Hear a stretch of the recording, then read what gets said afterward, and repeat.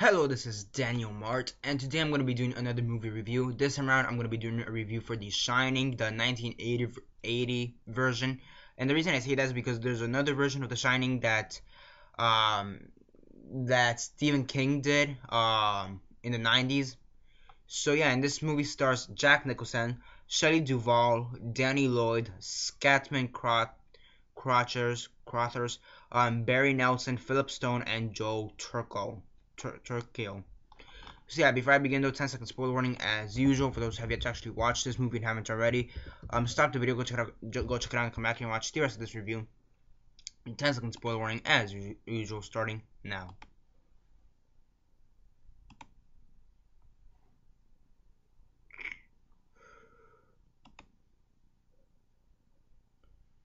Okay, so 10 seconds are up. So for those who have yet to actually watch the episode and haven't already, please don't comment down below or be messaging me. Then never give you fair warning because as usual, I did.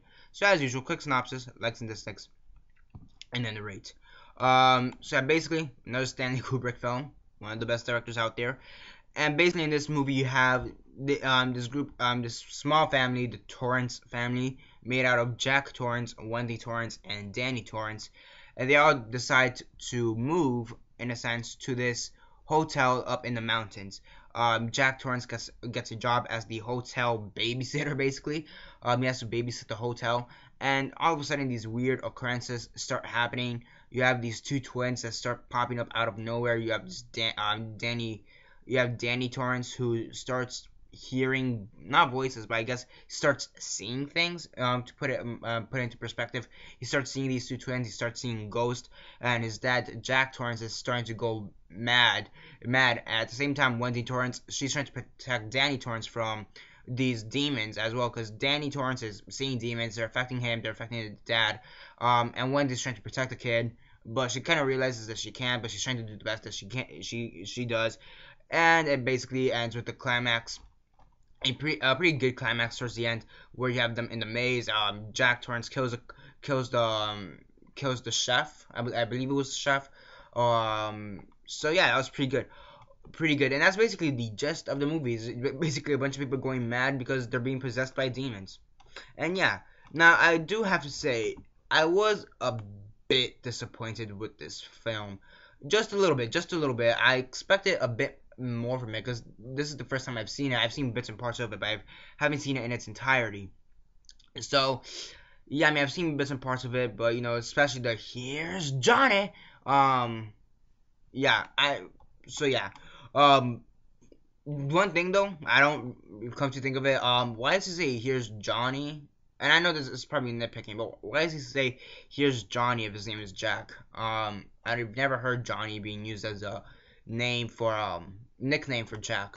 Um, I don't know, minor nitpick, but from one of the most iconic scenes. So yeah, it's complete bullshit. But I just want to know that. I, I mean, I know it was improvised, so there's that too. Um.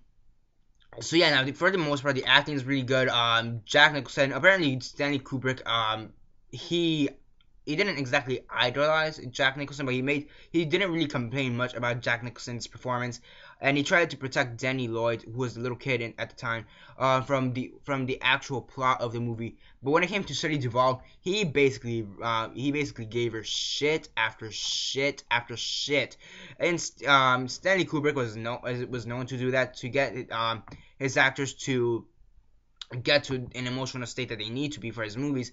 He basically does anything in his power to get to get them into that emotional state, and he basically what he tried to do is um, get when um, Shelley Duvall to, in a sense, hate Jack Nicholson so much, they would um, show through her performance.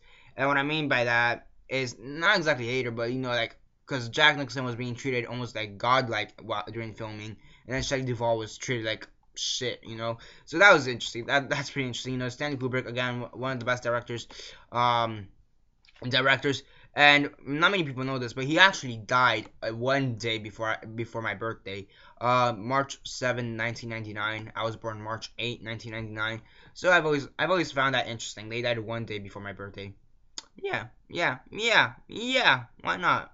Um, yeah. Speaking of which, Joe DiMaggio, the baseball player, I think he died on my birthday, if I'm not mistaken. John DiMaggio, Joe DiMaggio. Um, I forget what I think it's John. I want to say it's John DiMaggio, the baseball player.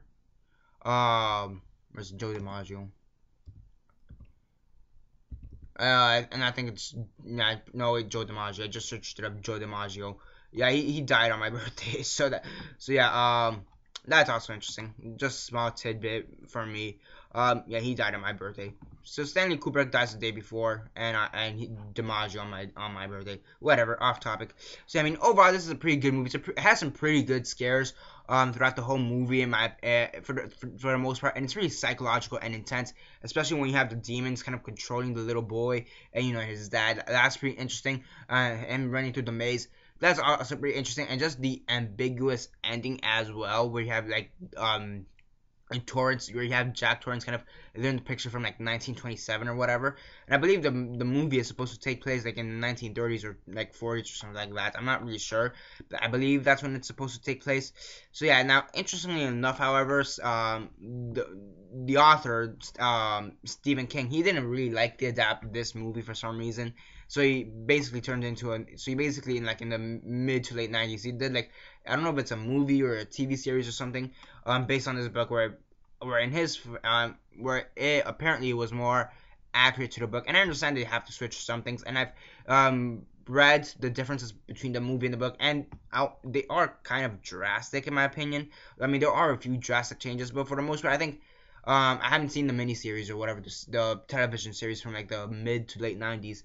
Um, but this, I think it's still pretty good for what it is. Overall, it's a pretty good movie in my opinion. Um, does have its issues. Yeah, sure. It could. I mean, there are like it does take a while for the plot to actually begin. It takes about a good half half hour for the plot to actually begin. But overall, it's, it's still a pretty good movie. it's still a really good movie, and I do recommend you guys checking it out. It's Stanley Kubrick, and it's considered one of the most iconic horror movies of all time. And what better time? What better time to actually watch this than than October? You know, horror season basically. So yeah, on a scale of one to ten, one being the worst, ten being the best, and six being decent, I give this movie an eight out of ten. 8 out of 10. Pretty good movie. Great movie. Do check it out if you haven't already. And yeah, that's basically it for this review. Subscribe if you're not already subscribed. I do movie reviews, TV show reviews, and comic book reviews. Comment down below, below your thoughts on the movie. Have you seen it? And if not, why not? And if you have what thoughts on it, comment all that down below. Let me know.